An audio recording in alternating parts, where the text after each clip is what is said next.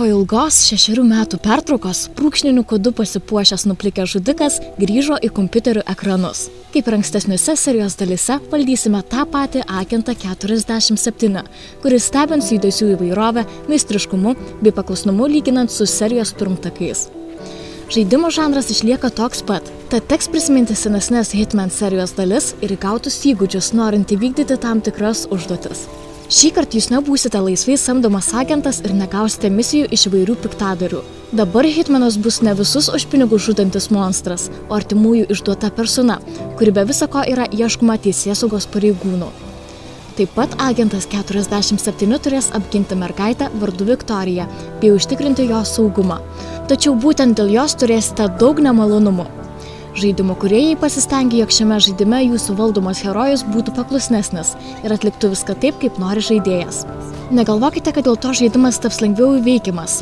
IO Interactive sukūrė visiškai naują Glacier grafikos variklį ir valdymo mechanizmą, kurio dėka kiekvienas judantis personažas tapo protingesnis. Padidėjus dirbtiniam intelektui reikės gerai pasukti galvą, norint įvykdyti tam tikras užduotis.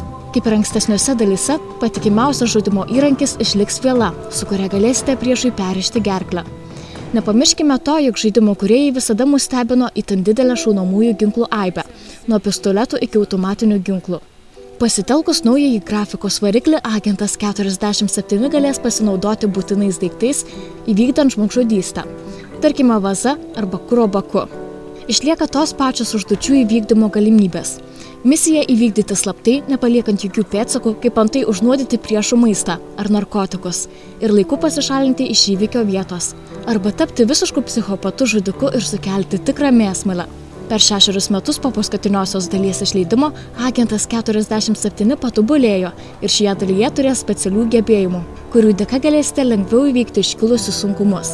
Herojus galės kurį laiką nuspėti apsauginių ir kitų vadinamųjų priešų judėjimo trajektoriją, nuspėti, kas darosi už sienos, sulėtinti laiką ir tuo metu nusitaikyti į blogiukus. Tačiau šių savybių negalėsite naudoti tiek, kiek širdis leis. Bus tam tikras instinkt resurso apribojimas, kuris gali pasibaigti bet kuriuo metu tad reikės gerai apgalvoti visus agento 47 veiksmus ir naudoti šį resursą tinkamai. Skirtingai nei buvusiose serijos dalise, naujoji žaidėjams pasiūlys kontrakt režimą, kuriame galėsite konkuruoti su žaidėjais iš viso pasaulio. Šio režimo idėja ganėtinai paprasta, tačiau kelinti labai daug lūkesčių.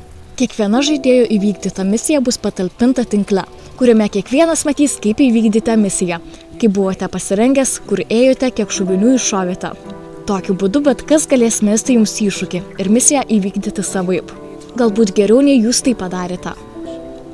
Žaidimas bus išleistas lapkričio 20 dieną ir bus skirtas asmeniniams kompiuteriams bei Xbox ir PlayStation 3 konsolėms.